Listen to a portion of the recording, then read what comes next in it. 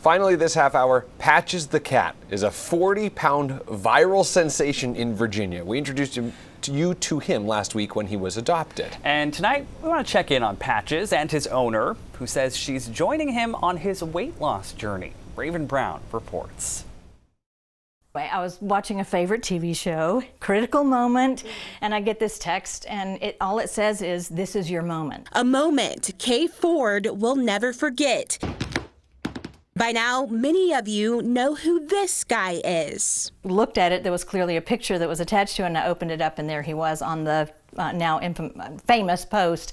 And um, I just went, I gotta have Patches. Patches, the 40 pound cat, has become quite the superstar, going viral after Richmond Animal Care and Control posted about his need for a home. I just wanted to help Patches. Weighing 42 pounds when he came in, that didn't stop Patch's determination to get moving in his new home and drop some weight.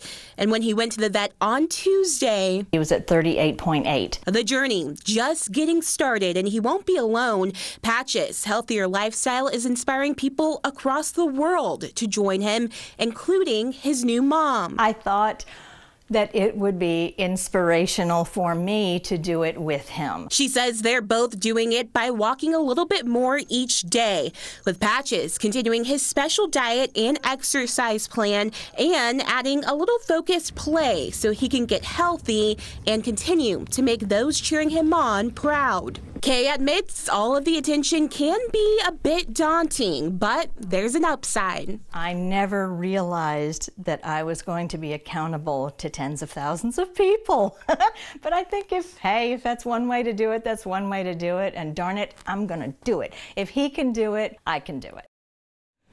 No pressure there at all. that was Raven Brown reporting.